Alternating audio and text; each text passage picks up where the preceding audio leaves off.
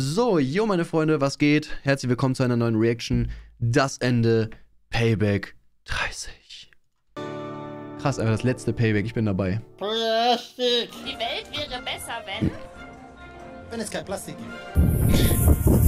Das ist meist kein Fliegen hier. Flieg mal, Bro. Doppelgänger. Okay, halten wir erstmal fest. Leon ist nicht nur ein Internet-Rambo, der Müll erzählt, sich hinter Leuten versteckt und keine eigenen Ideen auf YouTube hat, sondern auch jemand, der seine eigene Community belügt, seine Pranks faked, seine Bitch-Tests faked, seine Wenn du Eier hast Videos faked. Das habe ich ja alles in meiner Payback-Reihe bis ins Detail bewiesen. Aber was unabhängig von den ganzen nachweisbaren Fakes und Verarschungen absolut merkwürdig ist, ist, dass ständig die gleichen Passanten in den Videos vorkommen. In Hamburg mit über 1,8 Millionen Einwohnern plus den ganzen Tourismus. Der Typ hier kommt in mindestens vier verschiedenen Videos vor. Haare schneiden Prank in Klammern Eskalation, Leute ansprayen 2 Prank, Arschklatscher Prank Teil 2 und Corona Prank, das hat er mittlerweile in Experiment umbenannt. Dann der Typ von dem Star Wars Prank hier.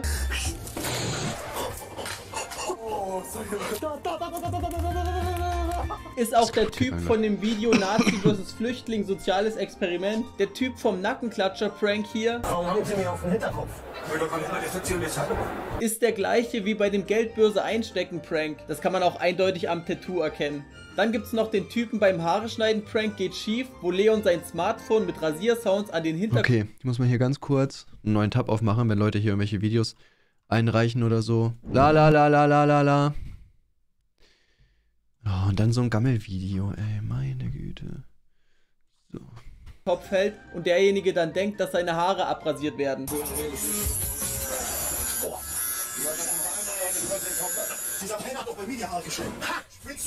Der rennt dem Leon dann ganze Zeit hinterher und zieht dann ein Messer. Meine Haare? Ja, aber. Wie das Ganze ausgeht, wird nicht gezeigt, aber wie der Zufall es so will, macht Leon einen zweiten Haare schneiden Prank in Klammern Eskalation, wo genau der gleiche Typ wieder vorkommt.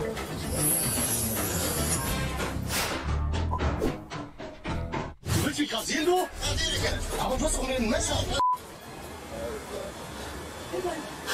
Hey, hat, er was mit dir rasiert schon? Was ist denn wieder? Hör mal auf, du kriegst mir rein. Der Wichser nimmt dich auf. Wer war das, Mann? Der plant alles auf YouTube. Ich bin nur sein, ich bin nur sein Läufer, ey. Leon marschiert auch immer unlustig bei sowas, Alter. Und dann macht er ein drittes Video draus, ich wurde bedroht und fast abgestochen, wo er thematisiert, dass er den Typen zweimal geprankt hat und den Typen dann noch ein drittes Mal vor laufender Kamera gesehen hat. Das Ding ist, ich habe ihn sogar gefunden. Das war auch spontan, wir haben gerade Video gedreht, ich habe ihn gefunden. Habe ihn drauf angesprochen. Der Kameramann hat es auf jeden Fall gefilmt, ich kann euch kurz den Clip zeigen. Du bist mein Burrito, ne? Ja. Sorry, Mann, okay? Ah, Ich wollte es mit mir, mit dir nicht verscherzen. Und ich mein's ja echt ernst, Mann. Wir kriegen... Du hast mich gesucht? Also zusammengefasst, die haben sich dreimal zufällig vor laufender Kamera getroffen, davon zweimal beim Haare schneiden Prank. Das allein ist eigentlich schon ziemlich seltsam. Aber dann sagt Manolito, dass er Leon gesucht hätte, wenn sie sich beim dritten Mal nicht getroffen hätten. Das impliziert ja, dass sie den Konflikt vorher gar nicht geklärt hatten am Ende der jeweiligen Videos. Da frage ich mich, wie er zugestimmt hat, unverpixelt gezeigt zu werden, wie er jemand mit einem Messer jagt. Oder hat Leon ihn einfach Ja, naja, gut, okay, aber da muss man halt sagen, also wahrscheinlich war es ihm einfach egal, ne? Also ich kenne das auch, wir haben früher auch äh, Leute teilweise einfach nicht verpixelt. Muss ich ehrlich gesagt zugeben, ne, weil er immer noch zu faul war. Also ja, wahrscheinlich ist es gefaked, aber das ist halt jetzt kein Fragen Punkt so. unverpixelt ins Netz gestellt. Oder war das einfach nur abgesprochen und kein krasser Zufall? Man weiß es nicht. Okay, kommen wir zu den nächsten Kandidaten. Ich spiele euch jetzt mal zwei Video-Intros nacheinander ab. Einmal vom Nackenklatscher-Prank und einmal von dem Geldschein-Fitten Teil 2 Eskalation-Video. Und ihr könnt ja mal sagen, ob euch irgendeine Gemeinsamkeit auffällt. Was geht aber nicht? Ich bin wieder in der Moscheestadt. Heute gehen wir ein bisschen mal Rundfunk um die Stadt und pranken mal wieder die Leute. Bisschen mit einem kleinen Nackenklatscher. Genau wie hier. Hi, hi, hi, hi, hi. Ah, viel Spaß dabei. Was geht aber nicht? Ich bin wieder der Moschee. Heute machen wir wieder Geldschein, Prank Teil 2 und... Hi, hi, hi, hi, hi.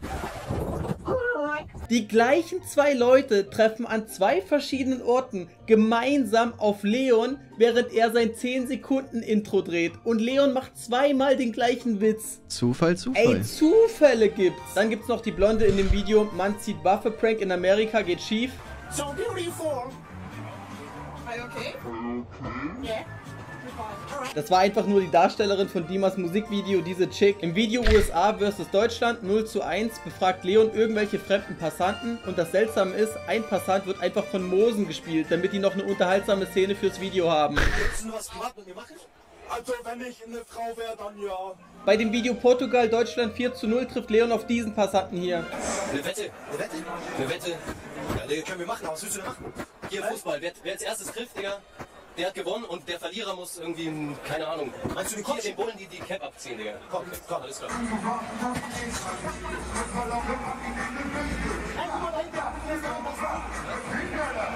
Ach Gott, ist das schlecht. Und was für ein Zufall, der kommt auch in einem Video vor, wo Leon in Amsterdam ist.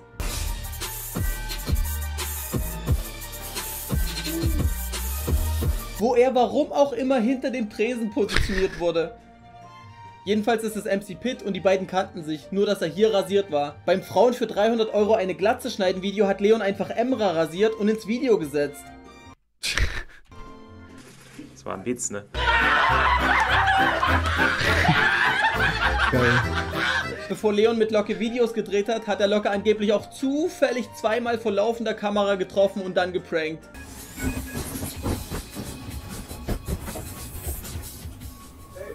Das denn? Das ist Farbe, Mann. Das ist Wie, das ist Farbe?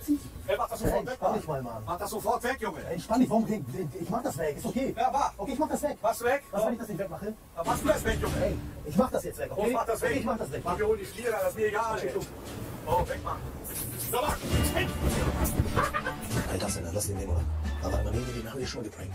Ich schwöre, das ist er. Geh lieber rein, schon. Sagst du? Ja, dann geh rein, versteck dich, versteck dich, Mann. Warte, ich zieh die Mütze runter. Also, er merkt es. Ja, wie, wie Leute das feiern konnten, ist mir auch schleierhaft. Ist die Macht mit dir?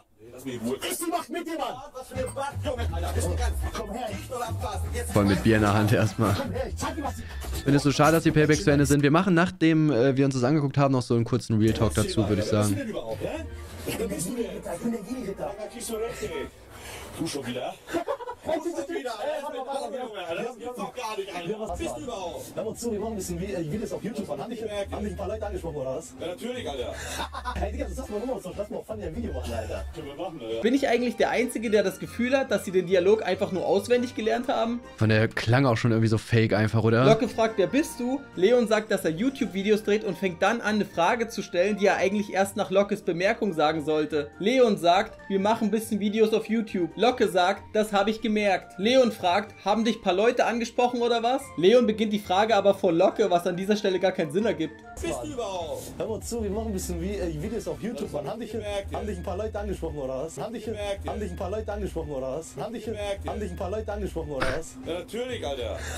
Geil ist aber auch, wie Leon den Locke bei der ersten Begegnung Ja, gut, wobei. Ja, gut, wenn er jetzt sagt, ja, wir machen ein paar Videos auf YouTube, haben dich Leute angesprochen, ja. Also wahrscheinlich war es halt, ich glaube, das könnte man auch ohne die Bemerkung von Locke sagen.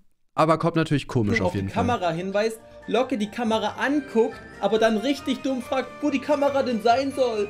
Ja, ja, ja, chill mal, chill mal. Ich muss jetzt aufgelöst sein. Ey, Digga, versteht die Kamera, mal.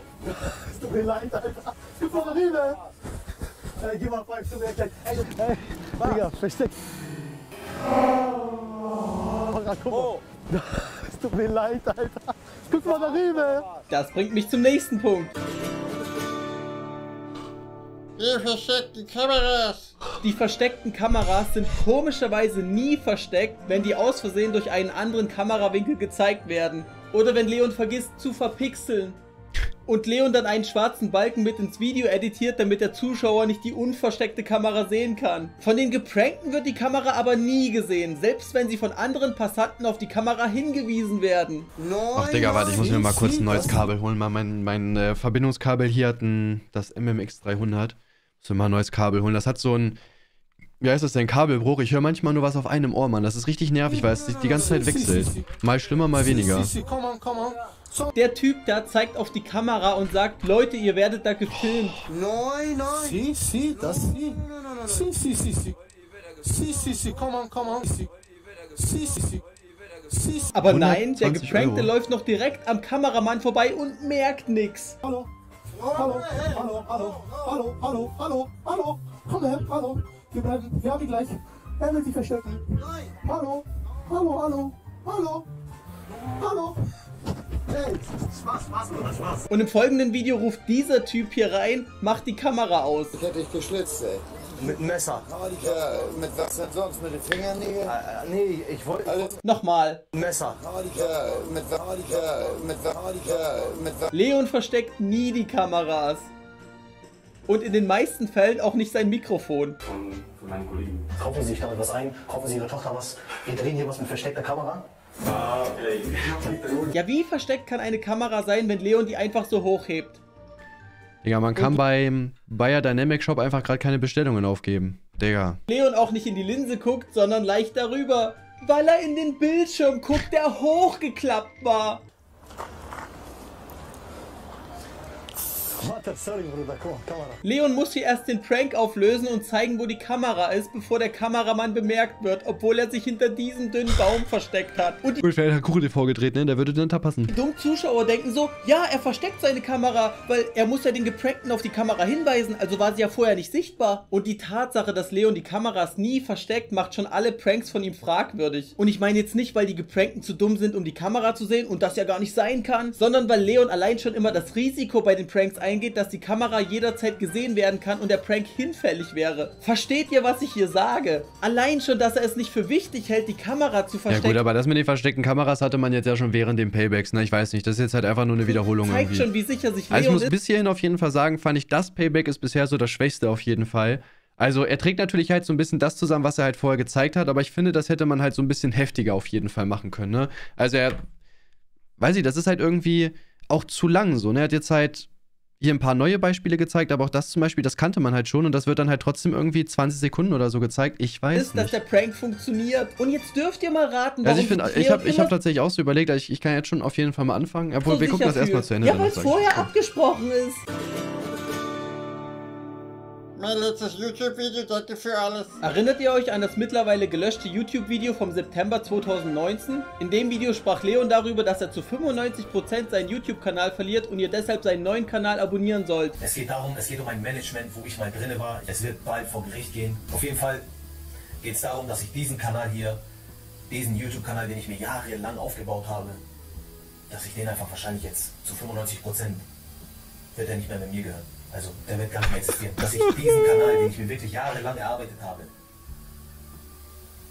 dass er einfach nicht mehr mir gehören wird. Ein Megastein wird dir einfach im Weg gelegt und den musst du jetzt aufheben und wegschieben und halt einfach weitermachen. Und ich habe mir jetzt überlegt, ich werde jetzt einen neuen Kanal machen, wo ich einfach aktiv bin, mir selber die Motivation gebe, einfach am Start zu sein und nicht auf, aufzugeben, auf keinen Fall aufzugeben. Ja, wer hätte es gedacht? Leon hat euch Video, ne? wieder belogen, um seinen neuen Kanal zu pushen. Denn kurze Zeit später kam die Songankündigung für Bruder muss los und daraufhin dann das komplette Musikvideo dazu. Das Ding ist, der Song war im Endeffekt eine fast 1 zu 1 Kopie von Capital Bras Dresscode Gucci.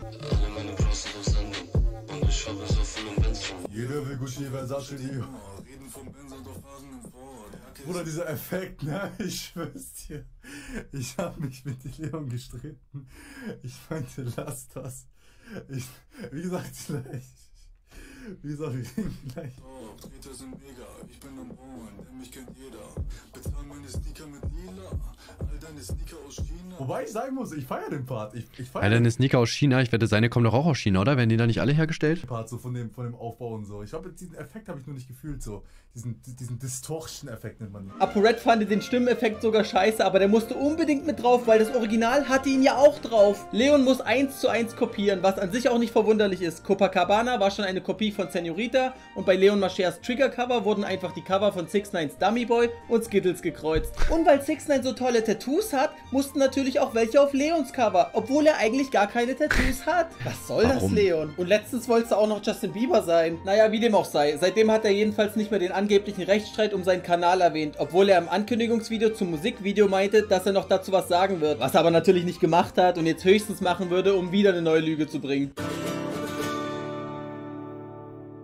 Warum auch immer der überhaupt dieses Video gedreht hat. Wenn ihr meine Payback-Videoreihe fleißig verfolgt habt, werdet ihr festgestellt haben, dass Leon während seiner gesamten Karriere gelogen und Videos gefaked hat. Er ist nicht irgendwann zum Lügner geworden, sondern hat es schon immer so gemacht. Um überhaupt seine Karriere zu starten, hat er das schon gemacht. Hier ein bislang unbekanntes Video von vor 10 Jahren, wo Leon einen Banküberfall fail gefaked hat, um damit viral zu gehen. Vielleicht erkennt ihr ja seine Stimme. Gib mir dein Geld sofort alles rein. Warte, ich hab Tasche vergessen, Digga. Bruder. Hier noch ein Bild von Leon mit dem gleichen Oberteil von damals. Ja, und der Typ am Tresen ist offensichtlich Mefso, das erkennt man eindeutig an der Körperhaltung. Leon hat von Anfang an gelogen und das wird in Zukunft auch so bleiben. Er wird sich niemals ändern, er wird vielleicht davon reden, sich zu ändern, aber euch genauso weiter ausnutzen. Und wer nach der ganzen Videoreihe denkt, dass er sich noch ändert, der ist nicht mehr nur naiv, sondern einfach nur extrem dumm. Und das gleiche gilt nicht nur für Leon, sondern auch für Leute wie Simon Desio und ApoRed. Seid euch im Klaren, jeder Einzelne, der weiterhin die Videos von denen schaut oder Songs streamt oder mit denen zusammenarbeitet, unterstützt diese Typen und votet indirekt für ein Ja, ich will, dass genau solche Leute reich werden, indem ich oder andere verarscht werden und genau so soll das auch bleiben. Wenn ihr wirklich gegen solche Leute seid, dann disliked nicht deren Videos, sondern guckt nie wieder deren Müll an. Irrelevant zu sein ist für solche Leute schlimmer als gehasst zu werden, denn dann läuft bei denen gar nichts mehr. Gut, und jetzt möchte ich meine Payback-Reihe mit einem sehr passenden Zitat von Jan Meyer beenden. Auch wenn Menschen eine Weile erfolgreich damit sind, andere zu verarschen, ganz am Ende werden sie es sein, die zerstört sind. Und ratet mal, wer das retweetet hat. Leon fucking Mascher! Verdammte Scheiße, wer zum Teufel hat die ins Hirn geschissen? Und jetzt kauft mein Merch. Zu jedem bestellten Artikel Ja. gibt's eine Limit. Das waren die Paybacks, meine Freunde. Das allerletzte Payback. Ja, was kann ich insgesamt dazu sagen? Äh, ich habe ich hab mir tatsächlich schon so ein paar Gedanken gemacht, weil ich auch wahrscheinlich vorhabe, so auf Kuchen TV so ein, so ein Video halt zu machen. Also das Ding ist, was ich auf jeden Fall sagen muss, ich finde Payback 30 ist wirklich ein sehr, sehr schwaches Ende gewesen. Ähm, ich fand halt so vom Inhalt her war das irgendwie einfach nicht wirklich krass, so muss ich ehrlich gesagt zugeben. Ähm, Im Endeffekt hat das nochmal so ein bisschen ja das zusammengefasst, was halt vorher schon gesagt wurde, hat das Ganze aber nicht wirklich gut gemacht. So, ich weiß nicht, das habe ich jetzt tatsächlich nicht so gefühlt. Ich hätte so ein zusammenfassendes Payback irgendwie nochmal cool gefunden, wo man halt zeigt, ja, das hier sind die 50 Pranks, die ich jetzt in dem Video gezeigt habe, die waren alle fake. Ne, sowas zum Beispiel fände, hätte ich halt cool gefunden. Ne, ein paar Einschnitte waren halt noch ganz cool, ne? Die, vieles kannte man natürlich auch logischerweise halt nicht. Manches hat sich so ein bisschen gedoppelt. Ähm, und ich muss halt generell auch zu den Paybacks sagen, also unterhaltungsfaktormäßig waren viele sehr, sehr gut. Muss aber auch ehrlich gesagt zugeben, wen juckt's? So, um das mal hart auszudrücken. So, das Ding ist ja, so am Anfang war es noch krass, ja, okay, der hat halt Sachen gefaked und so. Aber gerade zum Ende hin war es natürlich auch logischerweise immer halt das Gleiche. Und Leo Mascher macht diese Videos ja auch einfach nicht mehr. Ne? Also die meisten Videos, die er gezeigt hat, waren irgendwie von wahrscheinlich 2015 bis 2018 oder so. Das ist auch schon wieder drei Jahre her. Leon macht diese Videos gar nicht mehr, der droppt das nicht mehr. Also, ne, der macht ja generell keine Videos mehr.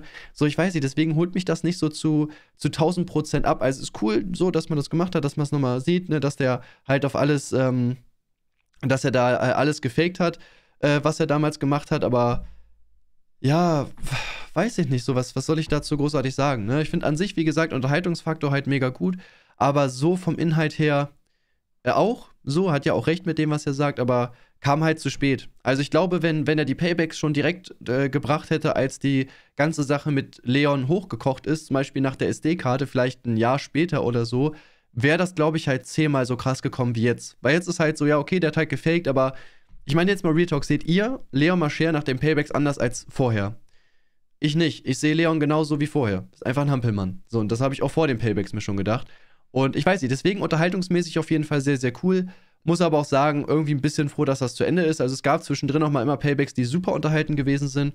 Dann gab es halt sowas wie jetzt, wo ich sagen muss, so, ja, weiß ich nicht, so ultra krass ist das auch nicht gewesen. Ähm, aber er hat schon heftig recherchiert, das muss man auf jeden Fall sagen. Und Props für die Festplatte auf jeden Fall. Digga, wenn die mal kaputt geht, äh, dann ist wirklich vorbei.